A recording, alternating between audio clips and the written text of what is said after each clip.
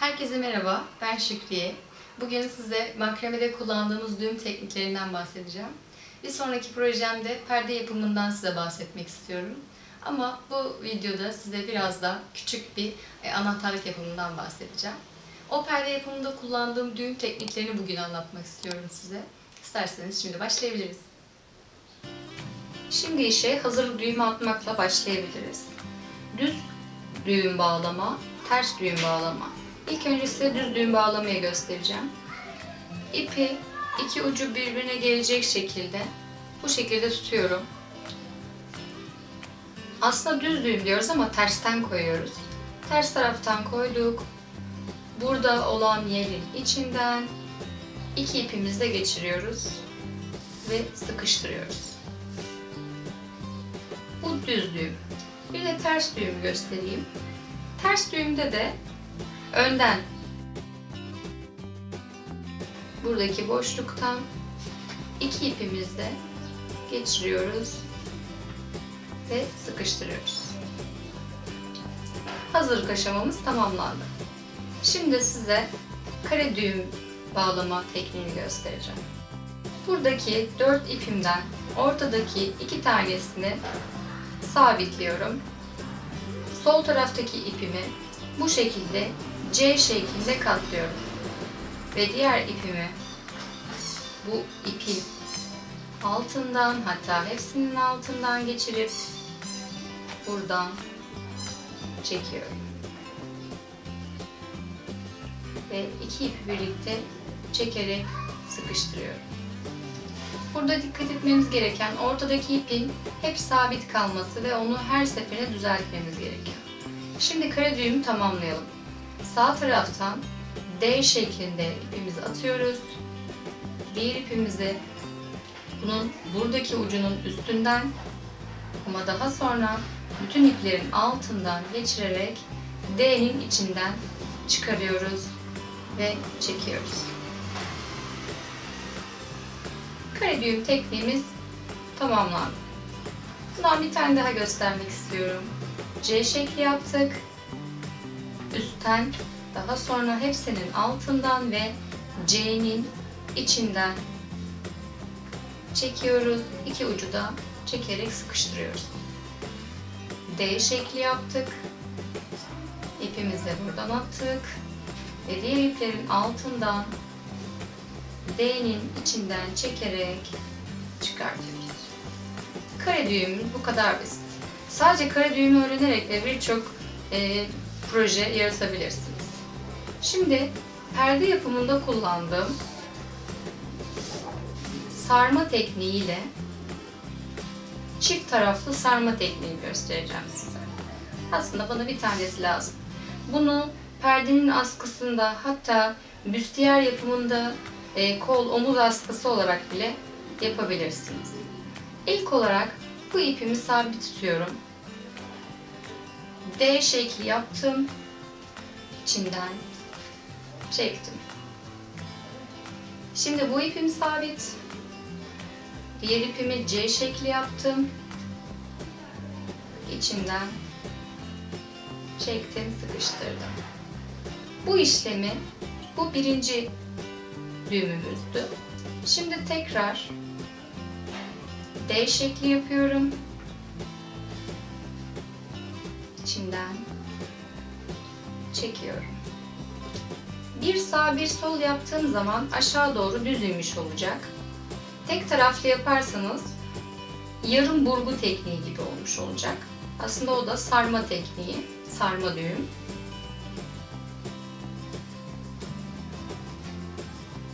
Bir sağdan içinden aldım D'nin ve sıkıştırdım.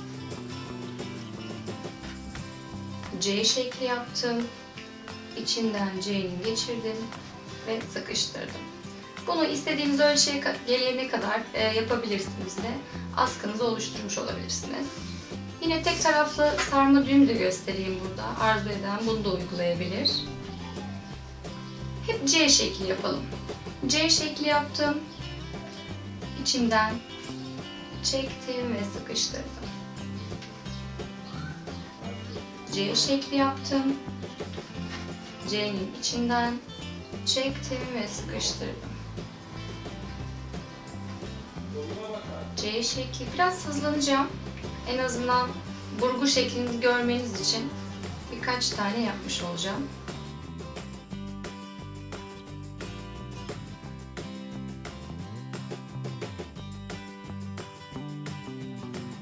Ve sanırım yeterli. Bu da tek taraflı sarma düğüm yaptık. Ve bunu da kenara alabiliriz. Şimdi perdemizde kullandığımız yine sarma düğüm tekniği göstereceğim. Ben buna videoda kaydırma tekniği dedim. Da, sanırım bana daha anlaşılır geliyor. O yüzden ikiye ayırdığımda tam ortadaki ipin sol taraftaki ipi alıyorum ve gideceği yönü gösteriyorum. Ben buraya doğru gitmesini istiyorum ipi ve sarma yapacağım düğümü yine C yapıp içinden çekerek sıkıştırıyorum. Aynı iple iki defa uygulayacağım. C yaptım. içinden C'nin geçirdim ve sıkıştırdım. Şimdilik bu iple işim bitti. Sıradaki ipimi aldım. C yaptım. Ve çektim. Sıkıştırdım. C yaptım. Çektim, sıkıştırdım. Bu iple de işim bitti. Üçüncü ipime geldim. İpimin yönünü şaşırmamız gerekiyor. C yaptım. içinden çektim. Sıkıştırdım. Aynı iple ikinci defa yapıyorum. Çektim. Sıkıştırdım. Ve dördüncü ipime geçiyorum. Burada beşinciye kadar hızlanacağım.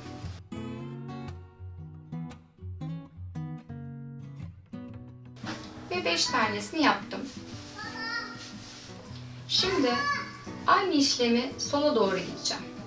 Bu sefer de D şekli bu ipimi yönünü gösterdim. Sıradaki ipimi aldım. D şekli yaptım. İçinden çektim ve sıkıştırdım. Aynı iple ikinci defa D yaptım. İçinden çektim. Sıkıştırdım. İkinci ipim çektim ve sıkıştırdım. Tekrar aynı iple. Bir süre sonra elimiz hızlanıyor zaten. D yaptım. İçinden çektim. Sonuncu ipe kadar devam ediyorum. Bu işlemi de tamamlamış oldum. Gördüğünüz gibi çatı gibi oldu. Bunu bu şekilde devam ederek baklava deseni yapabiliriz. Mesela ortada biz kare düğümü yapalım. C yaptım. İçinden çektim, sıkıştırdım. Atıyorum. D yaptım. İçinden çektim ve sıkıştırdım. Kare düğümü öğrendiğiniz zaman dediğim gibi her yerde uygulayabilirsiniz. Bunu şimdi örümcek ağı modeli var. Onu da gösterebilirim. Bunda da buradaki iplerimi alıyorum. Aynı kare düğümü buraya yapıyorum. C yaptım. Üstten attım.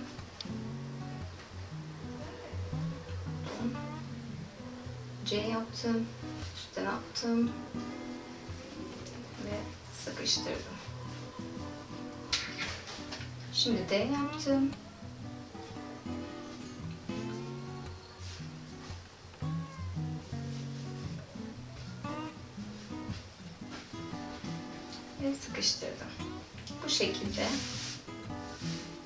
Tarafa da yapacağım. Dört tane düğüm aldım.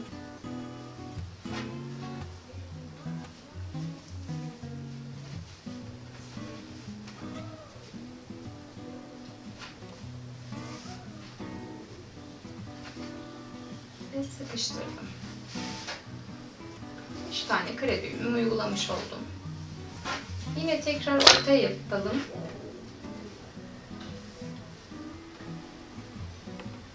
De tamamlayalım. Bunu birçok iple yaptığınızda gözünüzde canlandırabilirsiniz. Sarmaşık şeklinde her yere dolaşmış bir model çıkıyor ortaya. Ve gayet güzel oldu. Burasını da baklava gibi kapatırsak eğer bununla sarma modeliyle daha da güzel bir model çıkacak ortaya. Şimdi perdemde kullandığım bir sonraki düğümü göstereceğim size. Aslında bu yine kare düğüm. Buna rozet düğüm de deniliyormuş. Ben madalyon düğüm olarak biliyorum. Ortadaki ipimi aldım. Hemen yanındakiyle kare düğümü uygulayacağım.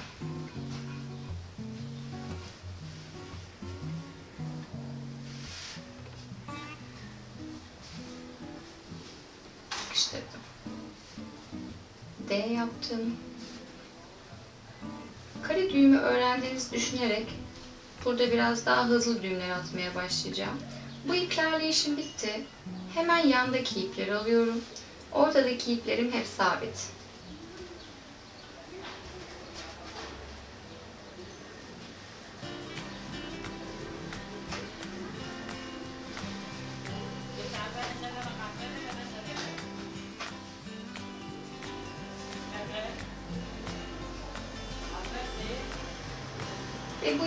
İşim bitti.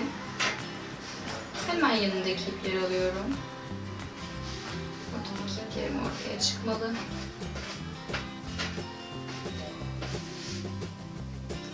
Aşağıda bırakıyorum. Projemde uygularken perdede bu şekilde kullanmıştım. O yüzden böyle gösteriyorum. Siz üstte bırakarak da farklı bir model çıkarabilirsiniz. Sol taraftan kare düğümümü uyguladım. Sıkıştırdım. Şimdi diğer taraftan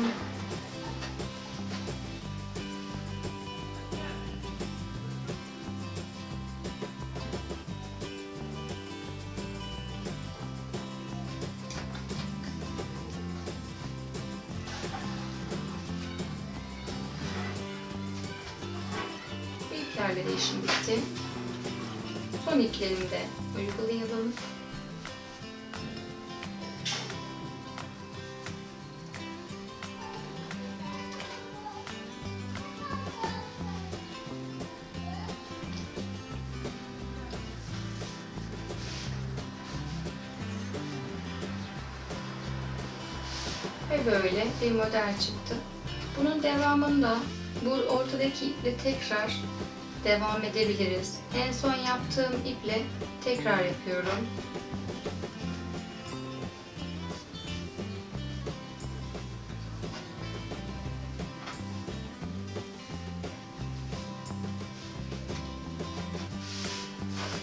Hemen yanındaki ipleri alıp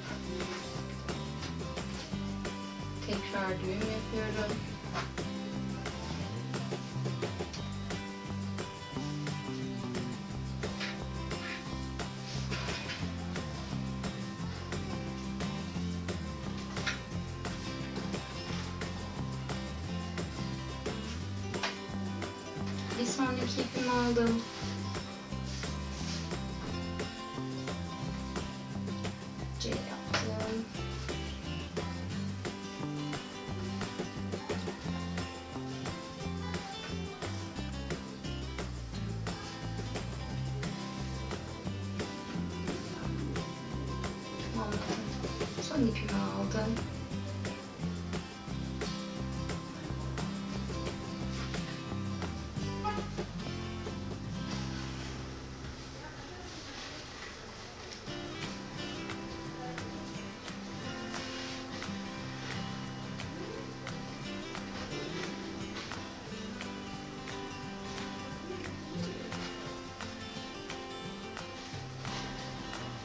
Şekilde aşağı doğru bu uygulamayı, bu düğüm tekniği uygulamaya devam edebilirsiniz.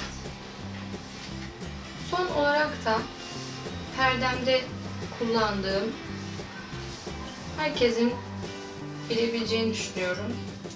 Saçlarımıza kullandığımız örgü tekniği.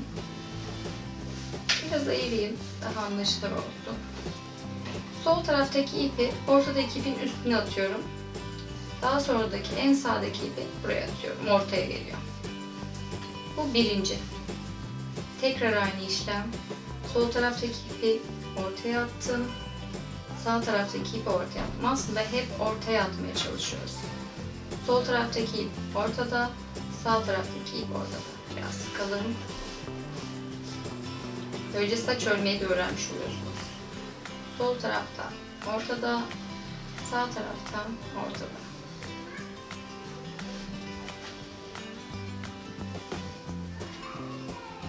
Ortaya, ortaya ve bu şekilde. Perdemde şimdilik kullandığım örgü tekniklerim bunlar. Projem de bitmek üzere. Onu da yakın zamanda paylaşmayı planlıyorum. Şimdi size e, bir küçük anahtarlık yapmayı planladığımı söylemiştim. Birazdan onu göstereceğim size. Şimdi size basit bir anahtarlık yapımını göstereceğim. Kare ve sarma düğüm kullanacağım sadece.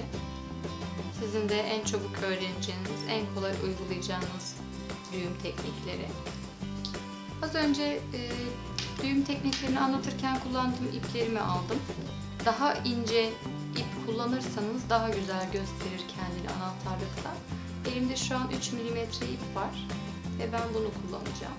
Öncelikle hazırlık düğümü yaparak başlıyoruz. İpi içinden geçirdim ve bu ikisinin arasından iki ipimi de çekiyorum. Sıkıştırıyorum. Diğer iplerim de aynısını yapacağım.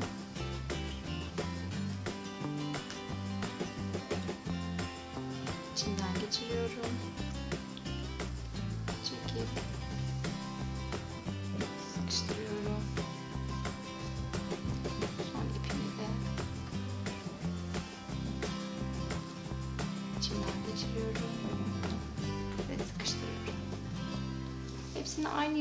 Geçirdim. İster tersinden ister düzünden kullanabilirsiniz. Ben buradan kullanacağım ve kare düğüm tekniğini kullanarak başlayacağım.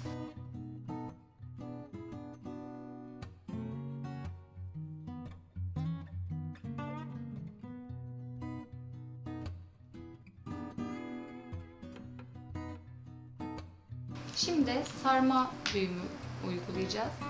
Bu ipimin buraya doğru gitmesini istiyorum ben. Ve bu diğer ipimi üstünden atıp içinden çekerek buraya sıkıştırıyorum. Aynı iple bir kez daha sıkıştım. Ortadaki ipimi de alıyorum. Yine üstünden atıp içinden çekerek sıkıştırıyorum. Aynı iple tekrar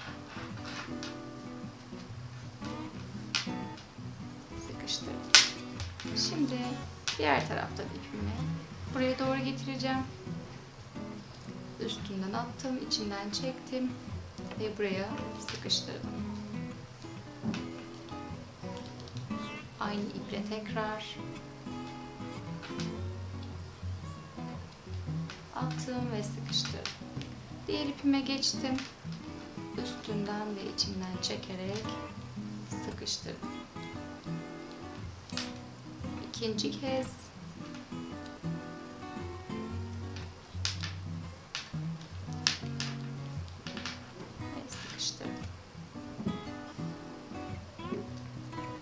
İpimi sabit tutmadığım için böyle bir sorun yaşadım. İpimi sabit tutarsam eğer buraya sıkıştırmam daha kolay olur. Bununla çok sık karşılaşırsınız bunu yaptı bu sarma düğümü uyguladığınızda. Şimdi ortaya geldik ve ben bu ipin buraya doğru devam etmesini istiyorum. Bu ipimi alttan geliyordu. C şekli yapıp üstünden içinden çekerek sıkıştırıyorum. Ortayı birleştirmiş oldum. Aynı iple tekrar yapıyorum. İpimi sabitlersem sorun yaşamayacağım. Sabitledim ve sıkıştırdım. Ve diğer ipimle aynı işlemi uygulayacağım.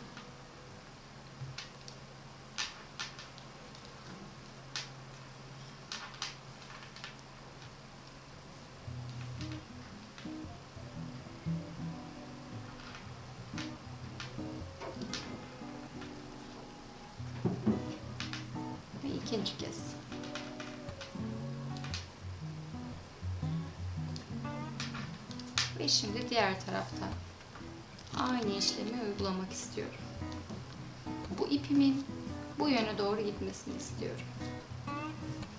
Alttan aldım, içinden geçirerek sıkıştırdım. İplerim ortayı gösteriyor. Çünkü düğümlerime devam edeceğim. İkinci kez yaptım. Sıkıştırdım. Diğer ipimle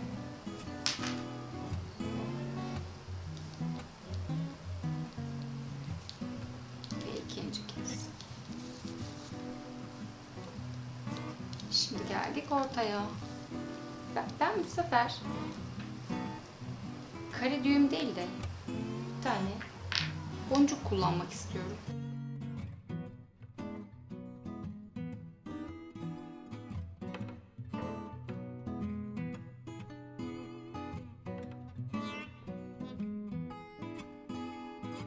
Boncuklarım ortada kalsın. Ben yine sarma düğümümü buradan devam edeyim. Bu ipimi ortaya doğru getireceğim. Ve buradan çekiyorum, sıkıştırıyorum.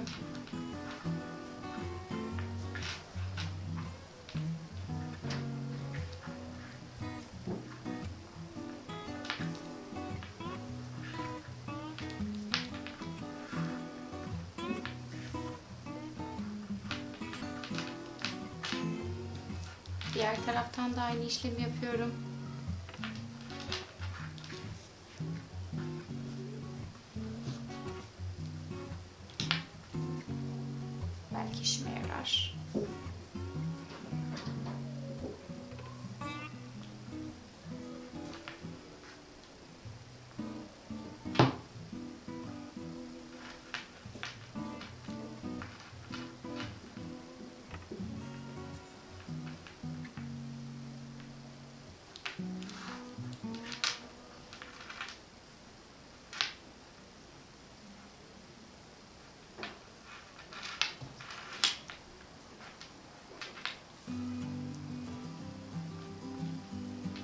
Ve buradan bağlayarak anahtarlığımı tamamlıyorum. İster anahtarlığımın püskül kısmını böyle bırakabilirim. İsterseniz de buraya bir püskül yaparak devam edebiliriz.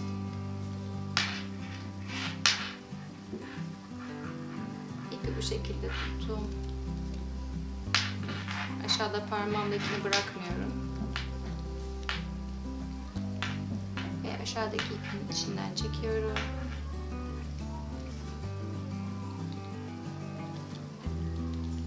Üstteki ipten çekerek püskülümü tamamlıyorum.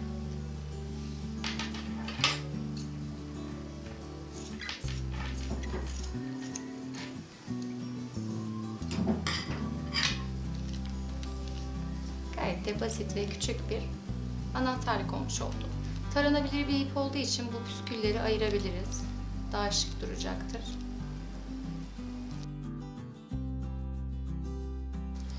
Ve anahtarlığımız hazır. Biraz püsküllerini taradım ve tekrar kestim. Anahtarıma taktım. Gayet de küçük, kullanışlı ve basit bir anahtarlık oldu. İnşallah siz de denersiniz. Görüşmek üzere. Kanalıma abone olmayı unutmayın.